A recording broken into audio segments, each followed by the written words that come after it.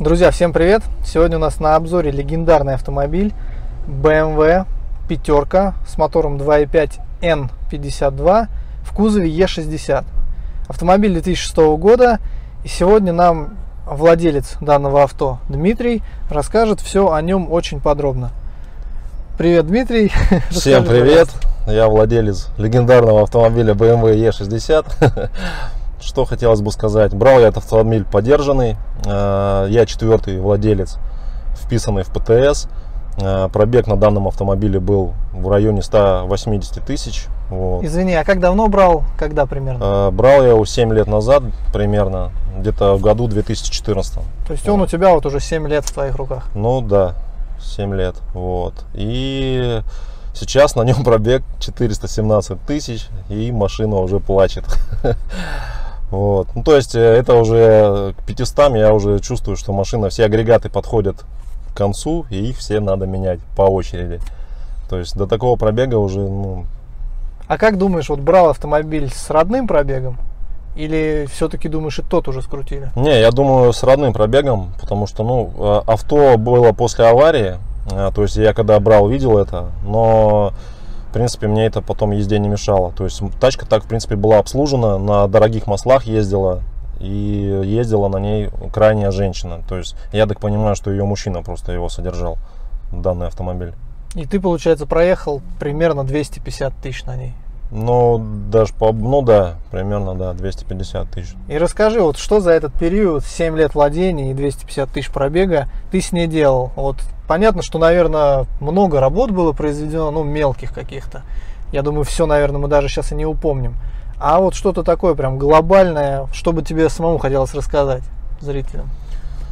Ну, из глобального я просто еще раз повторюсь, то, что пробег уже такой достаточно большой, и как бы агрегаты начали основные просто выходить из строя. Началось у меня все где-то с пробега в 350 тысяч, вот от 350 тысяч уже начали, короче, агрегаты сыпаться.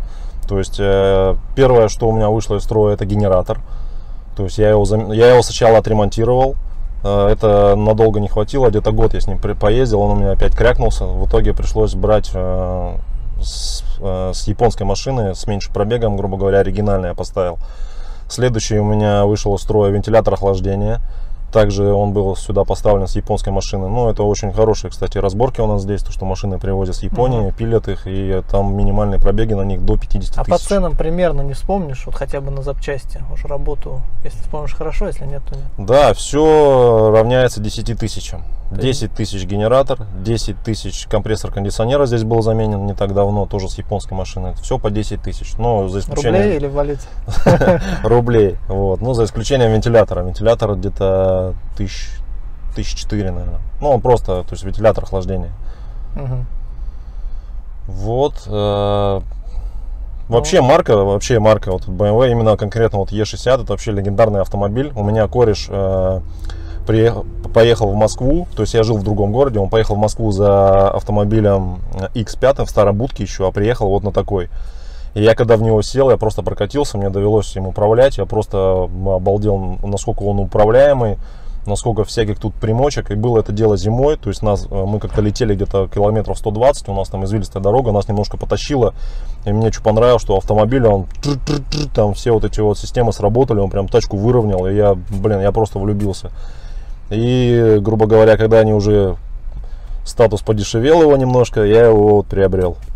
Э, И еще вот э, кореш пригнал тачку, она была в комплектации luxury, и я машину искал, искал только с такой комплектацией, чтобы потом уже ничего не дорабатывать, там не устанавливать, там дополнительное вот это лучше взять сразу авто, у которого там все есть. Просто BMW это любят. Мгм. Берут тачки там с обычными сидушками и начинают тогда впихивать потом в салон full option, блин, и так далее, там, ну, напичкать. Вот это само, ну, данный автомобиль находится в комплектации luxury.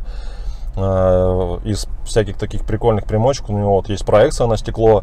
Э, Здесь стоит активный стабилизатор, который помогает э, курсовую устойчивость машины выдерживать на поворотах. Стоит э, активная рейка, dynamic drive. Ну, ломающиеся спинки сидушек. Ну, шторки там и всякие там приблуды, там это Мгм, уже мгм. люк и так далее. Ну, прикольно, на самом деле, это все очень сильно так, ну, как это... Я когда сажусь в такую же машину, такого же класса, да, и когда там этого нет, ну, как-то, блин, мне уже не очень. Типа что-то не хватает. Да, что-то не, да, что-то не хватает, у меня это сразу, да, минус. Как бы это не полная, конечно, комплектация, есть намного круче комплектации, то есть это там есть и доводчики дверей, и камера ночного видения, и слежение за полосой.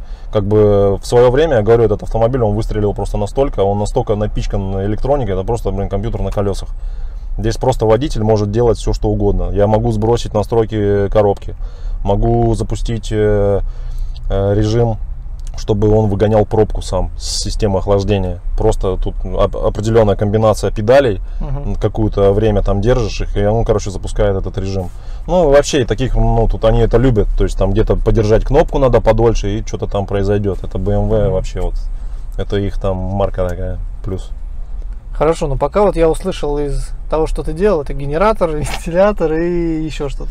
Да, глобального конкретно ремонта двигателя я здесь не производил, то есть я до сих пор езжу. Э, Двигатель N52, Николай 52, это, конечно, самый уродский двигатель, мне кажется, из всей линейки BMW, потому что, ну, все это знают, потому что у него мощность, э, она такая средняя, то есть ее немало, немного, она как бы, ну, для этой тачки хватает, но единственный, вернее, не единственный, основной его минус в том, что это, короче, двигатель э, конкретно жрет масло. Конкретно прям. А, То есть я уже измучился. А фишка в чем? А, Температура данного двигателя, рабочая температура, очень высокая.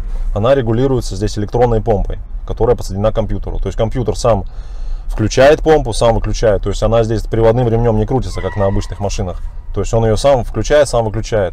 И температура двигателя всегда держится горячей. Это очень горячий двигатель. Из-за этого масло горит, как суется, забивает основные масляные каналы.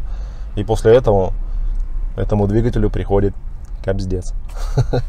Вот. И что хотелось бы посоветовать, если, например, кто-то будет брать этот данный автомобиль с таким двигателем, во-первых, замена масла. Здесь на компьютере стоит 15 тысяч. Но 15 тысяч, во-первых, наши масла в России вообще никакие не ходят. А, Здесь лучше менять масло 8 тысяч, 9 максимум. Вот. И масла надо подбирать очень тонко. Хорошо, ты, например, какой льешь, какой вот ты можешь? Вот смотри, я лил ликвимоли. Мгм. 970 рублей, 1 литр. Оно у меня горело. Еще там какое-то ликвимоли 5В40. Еще какой-то лил там 5В30 что ли заливал, тоже горело. Мобил 1 горело там. Вот сейчас на данный момент я езжу на масле Бардаль. Мгм. Вот, я поехал в Питер э, к другу, и он мне посоветовал это масло. Я прочитал характеристики масла. Ну, я думаю, что офигенное, потому что у меня отец занимался маслами в свое время. Вот, и масло вот это Бардаль, оно австрийское масло Мгм. или голландское. Ну, я уже точно сейчас не вспомню, но а, пока, пока, грубо говоря, расход, ну, при, ну, как бы остановился. То есть такого огромного расхода масла сейчас нет. Ну, а конкретно вот сколько он у тебя жрал, например, масла, сколько сейчас жрет? Вот всегда все спрашивают, блин, я вот не могу конкретно сказать, Ну, но примерно я думаю, что раньше, ну, час, то есть э, я заливаю где-то 2 литра. На От- тысячу? а, нет, от замены до замены. А, ну, мне кажется, это еще терпимо. Ну да, а раньше я заливал где-то, ну, пятерочку точно. То есть полностью. меняешь раз в 7-8 тысяч. Сейчас стараюсь, да. Просто у меня одно дело было, я вообще пере, переэтовал, ну, сроки, грубо говоря, э, вовремя не поменял, и потом пос- посмотрел, у меня, оказывается, 13 тысяч проехал. Мгм. И когда начали с- ну, сливать масло, там просто такой густой солидол уже был. Мгм. Хорошо, вот помимо жора масла, если ты говоришь, что этот мотор один из самых вообще проблемных, ты сталкивался с чем-то, с какими-то проблемами, что-то делал по нему, мотору? Конкретно, чтобы вот в мотор там залазить, я ничего не делал. То есть он, сейчас у меня пробег 417 тысяч, и он до сих пор ходит, бегает. И... Потому что это, грубо говоря, мне кажется, уже одна из самых последних BMW, которая еще настоящая BMW, грубо говоря, нотки настоящей BMW в ней присутствуют. Остальные все, там уже просто поработали не инженеры, а маркетологи, которые делают так, чтобы двигатели ломались, специально там цепи у них постоянно там летят. Фу, не знаю, я как бы езжу вообще до сих пор, все нормально. Каких-то там конкретных, ну, единственное, я еще поменял э, шкив Мгм. основной, вот, э, он демпферный здесь, то есть там резинка внутри. Вообще этим болеют э, именно дизельные э, двигателя на этих машинах. То есть демпфер э, там по- резина постепенно преет, ее немножко ведет, и он начинает вот так колбасить. Вот, но я его тоже поменял. Я не знаю, почему у меня такой дефект пришел. Ну, как бы каждая машина, мне кажется, свое, как же так же и у людей. То есть вот я вот его поменял. А так, в принципе, с двигателем больше ничего не делал. Так, хорошо, по мотору разобрались. Расскажи по коробке. Там замены масла, какие-то, может, болячки, проблемы. Ну, по коробке читал много отзывов. Вот, э, менять масло в коробке, не менять масло. Но для себя сделал вывод, что ну, как-то деньги были свободны, чтобы лучше поменять масло. Залезли туда, как бы, ну, то есть там меняется масло и меняется поддон коробки, потому что в поддон коробки э, встроен э, сам фильтр. Мгм. Вот. Все это мне сняли, но сказали, что у меня коробка была обслужена. То есть там уже менялось масло. Она, он говорит, что то есть, ну, люди, которые владели этой тачкой, ну, грубо говоря, за машиной следили. Я тоже поменял масло, залил туда ликвимоля. Вот. Ну, пока, грубо говоря, каких-то конкретных там пробуксовок там или еще ка- каких-то там косяков с коробкой не было. Ну, один раз ты поменял масло? Один раз. да. Полностью или частично? Как это? Полностью, наверное, да? Я поменял полностью, но это делается частично. То есть сначала меняется одна половина, Мгм. потом ты приезжаешь, и они меняют вторую половину. И делается это на горячую, если не ошибаюсь, на горячую коробку. И делается это под давлением. Ну, то есть это такая непростая процедура. То есть, ну, Мгм. в обычном там каком-то колхозном сервисе, я думаю, вряд ли тебе кто-то заменит масло. Если они Мгм. просто все сольют и зальют, коробка крякнет, мне кажется, сто процентов. Мгм. Ну, а у тебя, получается, сразу все слили или нет? Или частично? Нет, частично, да. То есть сначала одну э, часть слили, то есть оно со старым маслом там перемешалось, я проездил. Потом Мгм. все это э, слили и залили уже, ну, грубо говоря, полностью обновленное масло. Хорошо, и ты поменял всего один раз? Всего один раз, да, я поменял. Ну, то есть оно меняется, я не помню на каких пробегах там, но там очень большие пробеги, то есть это не в двигателе раз там в 9-10 тысяч. То есть это огромные пробеги там, но это не- сейчас не могу вспомнить, какие конкретно. Хорошо, про мотор поговорили, про коробку поговорили. Здесь у нас задний привод, Задний полный. привод, да, Проблем, нет, не наверное, никаких с ним не было. Или что-то делал? Нет, я с ним ничего не делал, проблем никаких не было, но эластичная муфта иногда на них там летит, там, то есть на кардане стоит такая резиновая приблуда, Мгм. вот, э, демпферная, чтобы снижать, грубо говоря, вибрацию. Мгм. Но у меня как бы фу, проблем не было никогда. То есть до сих пор езжу, я не знаю, менена она была, нет, я думаю, что вряд ли. Поэтому пока катаюсь, пока все нормально. Хорошо, подвеска. По подвеске могу сказать, что ну, подвеска на самом деле на BMW такая хлюпенькая. То есть она ну, достаточно, не настолько, конечно, мягкая, как на Марсе, но она такая прям, когда она вот вся хорошо работает, вся менена, она прям такая сбитая, вот приятно на ней ездит, такой тутук-тутук, знаешь, такие глухие у нее звуки такие, блин, ну, мне очень нравится. Вот, но она достаточно хлюпенькая, у нее в первую очередь выходят из строя стабилизаторы. Выходят стабилизаторы, если ты их вовремя не меняешь, то начинается там сыпаться дальше рычаги и так далее. Вот, поэтому э, у меня, когда начинает что-то стучать, я сразу смотрю, если это стабилизатор, они стоят вообще недорого. То есть где-то стабилизатор стоит полторы тысячи один. А их сколько? Их два. То есть А, они вот так стоят мгм. поперечно, с одной стороны и с другой. То есть они, Мгм. ну, верх и низко подвески, грубо говоря, стабилизируют. Мгм. Вот. То есть их меняешь и все, там процедура абсолютно несложная и не ведет за собой э, развал схождения и так далее. Просто они заменяют, ну, меняются и все. Если, ты, если разобьет рычаг, то рычаг это уже, конечно, посерьезнее. Вот. Э, запчасти, конечно, ну, дорогие. На BMW, на подвеску э, оригинальные, но очень много аналогов. Я, то есть у меня когда-то застучала подвеска, я все поменял, но все поменял э, японской фирмы, там какой-то сейчас уже не помню. Но я для себя сделал такой урок. У меня все, что я поменял, все сломалось. Абсолютно все. И вот на данный момент, то есть у меня сейчас и стойки жвакают, хотя я все новое, все новые амортизаторы поставил, новые рычаги, э, новые подшипники, стабилизаторы, ну, короче, все новое поставил, и, короче, сейчас все сломалось, грубо говоря. Все вот это японское. Все японское, да, все вышло из строя, амортизатор вот уже левый квакает, бля. Я просто для себя понял, что либо оригинал ставить, либо каких-то фирм серьезных, немецких. Ну вот и с Япы я точно больше ничего ставить не буду, это сто процентов. Ну, видишь, они, походу, BMW не очень любят япы, и чтобы ре- репутацию подпортить. Да, специально подпилили, скорее Хорошо, ну а ты говорил, по-моему, генератор ты с Японии с тачки брал. То есть э, А, вентилятор. С этим повезло. Да, но это же запчасти, они оригинальные. То есть А, машина просто с Японии. Я понял, да. То есть она А в Японии собрана, да, а производство, она, естественно, там это идет Bosch, Siemens, то есть это как бы серьезные фирмы. Они там с комплектующих, я не знаю, может быть там заводы установлены, я не помню, блин, ну возможно, да. Или собирают они там, либо эти комплектующие приходят туда. Но факт в том, что это оригинальные запчасти. Я понял. Хорошо. Еще есть какие-то вот моменты, может, по электрике? По Есть электрике, да, ну на самом деле вот уже просто пробег пришел к тому, что электрика начинает, короче, сдаваться тоже, начинает плакать. То есть после, 4, после 400 тысяч все, все заныло сразу. То есть у меня вышел из строя монитор. Монитор, то, монитор тоже, ну, грубо говоря, с машины с японской, с пробегом 12 тысяч. То есть он Мгм. новый. Э, Есть тут еще блок. Дорого монитор стоит? А, Монитор недорого. Монитор стоит там в районе что-то 5 тысяч. А установка его? Я ее сам установил, А. вообще очень легко все снимается и меняется. А здесь снизу стоит блок мультимедии. Есть он CCC, есть ЦИЦ. На данном автомобиле стоит еще CCC, это старая система. ЦИЦ это уже более новая, то есть эта машина она пред рестайлингом.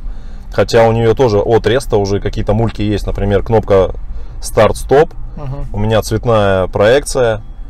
Э, Еще вот та- такая мулька, то есть подстаканники здесь вот так вот закрываются.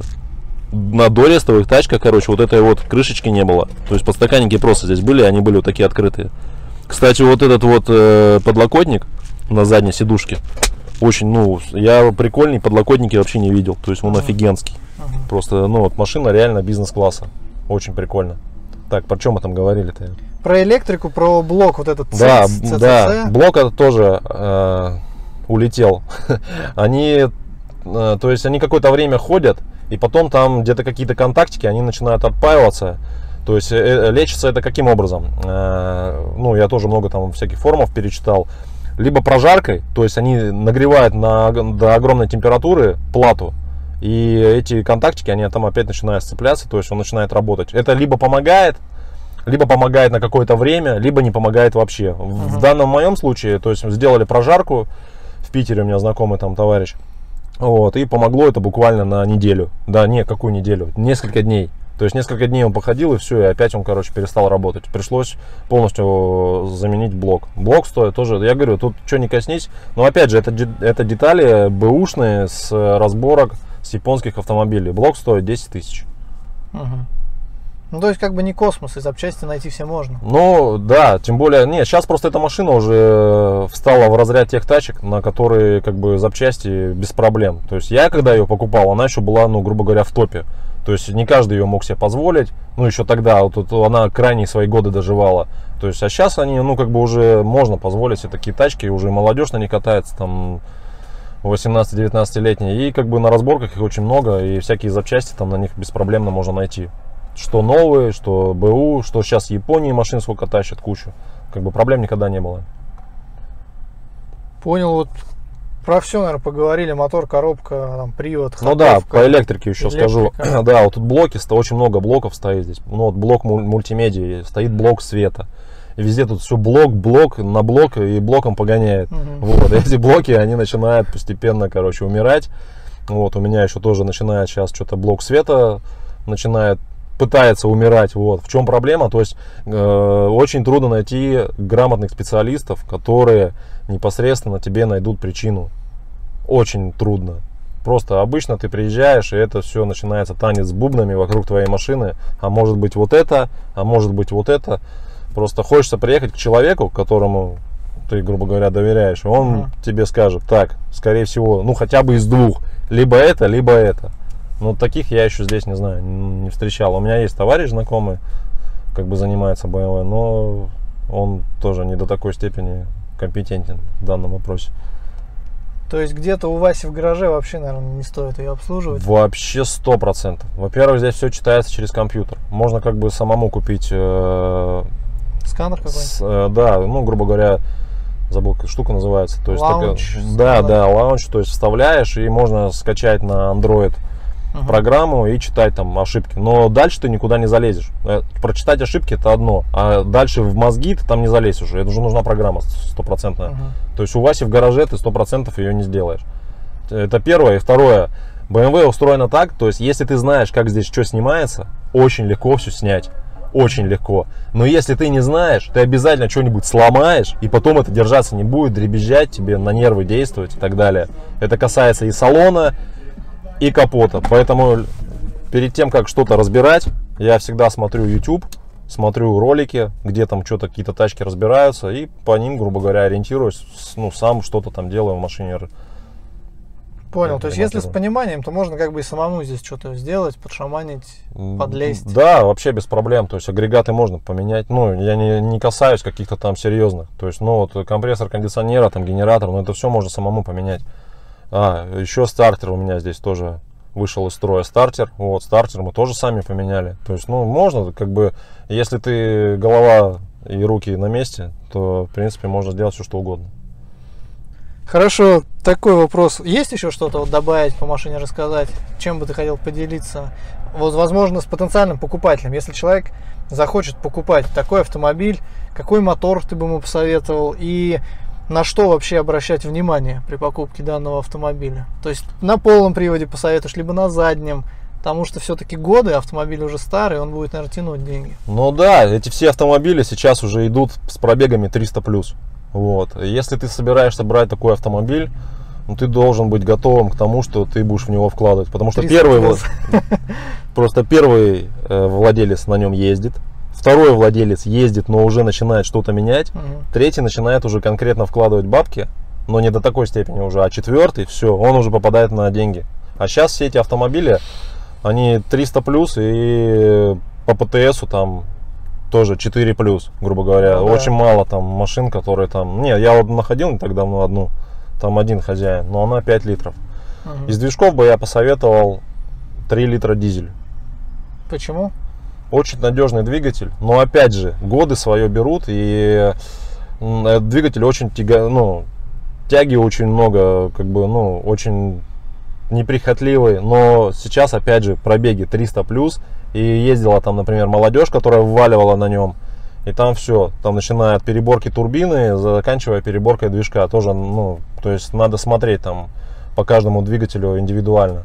Но 3 литра дизель очень хороший двигатель. И данные автомобили сейчас с таким двигателем стоят в цене больше миллиона. Лям 200, лям полтора миллиона стоят. То есть, ну, цены вообще космос, э, непонятно откуда взяты. Хотя эти автомобили должны уже стоить, мне кажется, тысяч по с 300 до 800, мне кажется, вот. Это предел этих машин. То есть, они уже старенькие. Но Да. и старый бизнес-класс, как бы, ну, еще, это, кстати, крайняя тачка, на которой еще настоящая кожа. То есть Мгм. уже следующие машины, они пошли с эко. Мгм, мгм. Помимо вот этого мотора, то есть это прям топ. Другие ты бы не Ну, советовал.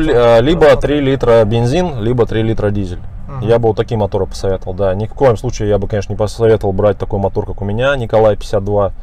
То есть очень капризный мотор. Он работает только тогда, когда работает все. То есть э, начиная от, от э, жидкости, которую ты в него заливаешь. Но мы где живем?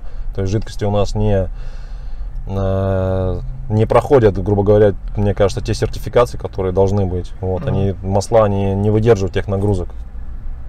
И, например, здесь э, круг на 15 тысяч рассчитан, замена масла. А все меняют на 10, потому что российские масла столько не ходят. Я не знаю, где мы повернули не туда, но наши масла, они просто не выдерживают. У нас э, и бензин у нас тоже плохой. То есть они там со всякими добавками. От бензина тоже очень много чего зависит. Поэтому, если брать данный автомобиль, я думаю, 3 литра дизель, либо 3 литра бензин. А, еще. Еще можно, конечно, э, то есть он будет в простой комплектации, можно взять 2 литра дизель. Очень тоже офиге... Он будет супер экономичный. Там расход до 5 падает даже. То есть по трассе я имею в виду. Город будет, ну там 7. Очень экономичный. Тоже, ну, как бы двигателя дизельные, у них там давление большое. То есть очень, он, он очень приемистый. Там турбина тоже стоит. То есть с динамикой проблем тоже нету. Но как бы там будешь уже проигрывать в комплектации. Потому что комплектация luxury на двигателе 2.0 дизель, ее просто нет. Будешь сам собирать. Ну это кто заморачивается по комплектации. Если ты, грубо говоря, комплектации все равно, там не холодно, не жарко, то можно, в принципе, взять такой автомобиль, и он тебе будет служить и верой, и правдой. Дизельный 2.0 тоже очень хороший движок. А какие-нибудь вот, например, ну топовые на них 4.4, да, наверное, ставятся, или 4.8, может, есть на них движки. 4.4, да, он как идет 550, ну, такой шильдик у них идет. Пятилитровый двигатель. Но, я не знаю, большие объемы, ну, налог раз, бензин 2, то есть жор масла там стопроцентный 3, плюс такие здоровые объемы, они 100% там у кого-то там, кто любил позажигать, я не думаю, что они у какого-то там дяди Вани, который там лего- легонечко ездил там и хранил ее в гараже, 100% он на ней вжаривал. И такие моторы, грубо говоря, можно взять такой мотор и попасть просто на переборку. А переборка такого мотора, блядь, встанет просто в столько денег. Просто это будет такой серьезная, грубо говоря, прибавка к той э, цене, которую, за которую ты ее купил. Хорошо, еще такой вопрос. Вот, например, когда ты покупал а, BMW, почему ты рассматривал именно BMW? То есть не Mercedes, не Audi, может быть, там какие-то японцы можно было посмотреть. Ну, я, во-первых, сам с Калининграда. Вот. У нас там очень много BMW. И BMW головного мозга я получил, когда мои друзья еще начали покупать пятерки в кузове Е34. То есть я тогда был студентом, я не мог себе позволить данный автомобиль, но я на нем катался. И ну и вообще динамика, управляемость. Я помню, мы как-то приехали на море, выехали там с девчонками, уснули на море, я проснулся. Ну, доста- достаточно холодная погода была, но я что заметил, что в тачке было до сих пор тепло. То есть мы там простояли там несколько часов. То есть машина, она и шумоизоляция, тем более в кузове Е34, это, блин, просто стопроцентная BMW, там маркетологи там вообще тогда не работали, там работали только инженеры, машина делалась просто на качество, там все качественное. Вот даже в этой уже машине уже есть здесь детали, которые крашеные. Зачем они красят, я вообще не понимаю. Вот отделки салона, там вот здесь, э, где э, э, стеклоподъемники, кнопки, это у них все крашеное, все это обдирается. То есть в Е34 и в Е39, потом это следующая э, модель пятерок, там этого нет. И вот тогда я заболел BMW, и когда мой кореш уже пригнал вот эту модель к нам туда, и я на ней прокатился и увидел проекцию, вообще для меня это был просто космос. Мы, вот эти глаза, эти э, ресницы желтые, которые светят своими очень красивые фары, мы когда просто приехали там на площадь, там просто все смотрели на, там просто машина, ну я не знаю, она еще была на огромных 19 дисках, ну супер тачка, на самом деле. Я другие машины даже не рассматривал, хотя раньше, раньше я ездил на Audi. Мгм. То есть и я хотел Audi в 45-м кузове, очень все хотел, я потом ездил на ней, ну по- у меня была рабочая такая машина. Очень тоже классная тачка на самом деле. Но потом Audi что-то поздулось. Ну, как-то мне они уже вообще не зашли. То есть ни в интерьере, ни в чем. Даже мы рассматривали бизнес-классы, ездили, смотрели BMW семерку, Audi A8 и Mercedes S-класса. Mercedes и BMW, да. Audi A8 вообще не зашла. Просто сел, что спереди, что сзади, просто обычный таз. Но ничего вообще таком там... Нет ничего такого, чтобы ты на это обратил внимание. Все обычно. Очень как-то бедненько. Ну, не знаю. На любителя, грубо говоря. Ну тогда все понятно, почему твой выбор пал на BMW. Друзья, если будут какие-то у вас еще вопросы по видео, пишите в комментариях. Мы предельно, мне кажется, подробно, и я уверен, что Дмитрий честно нам все рассказал по автомобилю. Нет смысла врать. Да, я на самом деле даже ну, отчасти удивлен, потому что я не узнавал, например, заранее у Димы, что он делал, да, по машине. И я понимаю, что пробег 400 плюс, а по факту-то, ну, движок там, да, родной, Да. Особо ничего не делалось, коробка родная. То есть, ну, по мелочи, да, но а за 400 тысяч на каком автомобиле вы не будете что-то делать. И опять же, вот говорят, что BMW там, да, ломучие автомобили.